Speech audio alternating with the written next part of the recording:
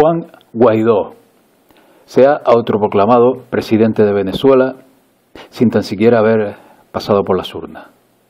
Guaidó asumió el 5 de enero como presidente de la Asamblea Nacional, casi por accidente porque le tocaba en realidad a su partido y Voluntad Popular y los principales líderes de su formación andaban con problemas legales.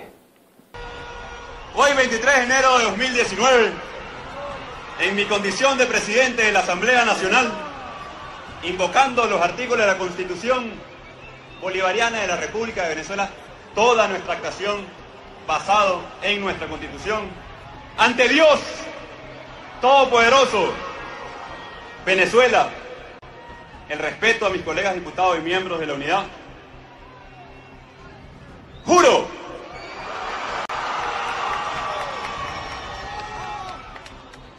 Asumir formalmente las competencias del Ejecutivo Nacional como el presidente encargado de Venezuela. Guaidó ya fue detenido por el Servicio Bolivariano de Inteligencia venezolano diez días antes de, la, de su autoproclamación, poco después de haber asegurado que tenía plenas condiciones constitucionales para asumir la presidencia en lugar de Nicolás Maduro. Estados Unidos no tardó en expresarle su apoyo y le siguieron Argentina, Brasil, Canadá, Chile, Colombia, Costa Rica, Ecuador, Paraguay y Perú. La corrupción imperante en torno al gobierno de Maduro, las concesiones mineras a Rusia y China, la evasión de monedas y de bienes básicos, el desabastecimiento de la población y un sinfín de causas han llevado al país a un estado insostenible, que no es la intención, no es el tema de este vídeo. Eh, sino en realidad este vídeo trataré de las relaciones del autoproclamado Juan Guaidó y sus conexiones con las sociedades que venimos exponiendo en este canal como herramientas del verdadero gobierno mundial a la sombra. Guaidó se formó en la Universidad Católica Andrés Bello, la UCAP, conocida como La Católica, una universidad privada con sede en Caracas, la número uno de las instituciones universitarias privadas de la nación venezolana y dirigida por los jesuitas. Es decir, como tantos y tantos otros mandatarios y altos cargos mundiales, llevará a la práctica los conocimientos adquiridos de, una, de parte de una fundamental herramienta de este sistema como son los jesuitas. Los mismos jesuitas que se complacían con Chávez ahora apoyan este golpe de Estado en el país natal del actual Papa Negro, o superior de los jesuitas, el venezolano Arturo Sosa. Y como prueba vean este, esta editorial, este texto escrito por el jesuita Luis Ugalde, apoyando eh, a este, movimiento que está surgiendo en Venezuela. Estos mismos jesuitas expandieron por toda Iberoamérica su teología de la liberación que sirvió de base ideológica a la inmensa mayoría de guerrillas habidas en aquel continente y también al propio movimiento bolivariano.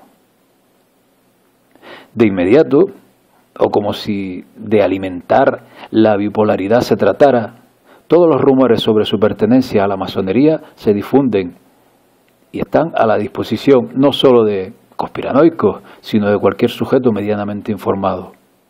Y Dicha pertenencia se confirma por sus propios hermanos de la Gran Logia Suroriental. A la gloria del gran arquitecto del universo, Ciudad Guayana, 17 de enero del 2019, nosotros, los representantes de la Gran Logia Suroriental de antiguos libres sectados masones de Guayana, Venezuela, le brindamos el apoyo incondicional y rotundo a nuestro querido hermano Juan Gerardo Guaidó Márquez, como presidente de la Asamblea Nacional en su trabajo de cumplir y hacer cumplir la Constitución de la República Bolivariana de Venezuela. Cuente usted, mi querido hermano, con este grupo de masones al sur de Venezuela, que nos encontramos en pie al orden en este momento transitorio de nuestra amada Venezuela. Repudio eterno a los tiranos de la tiranía. Ahora y siempre. Libertad, igualdad y fraternidad. Todo para uno y uno para todos. Tras esto, la periodista Luzmeli Reyes del, de efecto Cocuyo, le preguntó sin titubear al presidente encargado de Venezuela, ¿Guaidó es masón? le dijo. Esa, esa, esa característica que ha demostrado de ser un pragmático es natural o también la practicó siendo masón.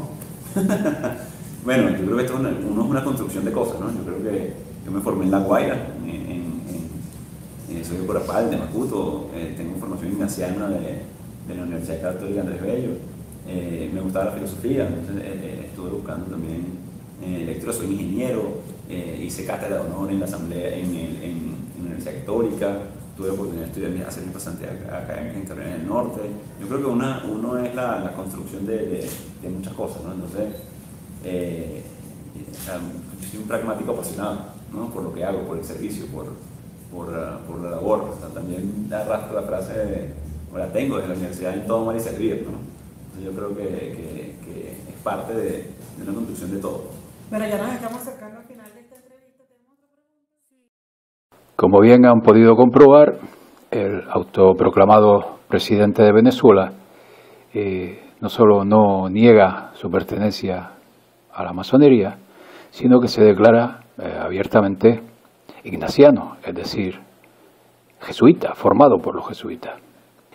Mientras tanto, y miren qué grande el mundo, las casualidades de la vida hacen que el máximo pontífice de Roma, el Papa Francisco, se encuentre de visita en Panamá para asistir a las 34 Jornadas Mundial de la Juventud Religiosa, a celebrar del 22 al 27 de enero, en estos días.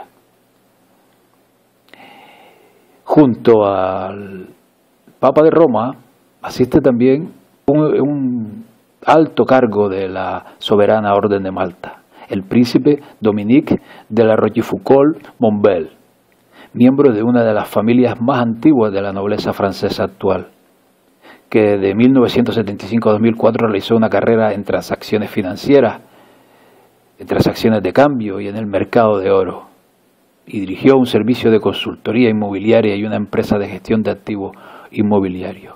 Este príncipe, caballero de Malta, dice, asegura que trabaja para los pobres. Debo decir, en honor a la verdad, que Guaidó asegura que llevará al país hacia una transición para la celebración de unas elecciones generales. Pero también debo decir que si esta transición está siendo organizada por los amos del mundo, no les quepa la menor duda a los venezolanos que las prometidas elecciones también. No seré yo desde el otro lado del Atlántico quien diga a cada venezolano lo que ha de hacer, pero sepan y sobre todo tengan memoria que casi siempre se postulan ilusionando para acabar decepcionando, en esta eterna rueda en que se mueve la bipolaridad política en el mundo, porque son sus peones, tanto de un bando como de otro, y que mientras no surja un poder desde abajo, desde el pueblo, todo lo demás, lo que venga de arriba, viene controlado. Espero y deseo de corazón que sea lo, deseo lo mejor para, los, para mis hermanos venezolanos y que sobre todo que no se llegue a, a cosas mayores.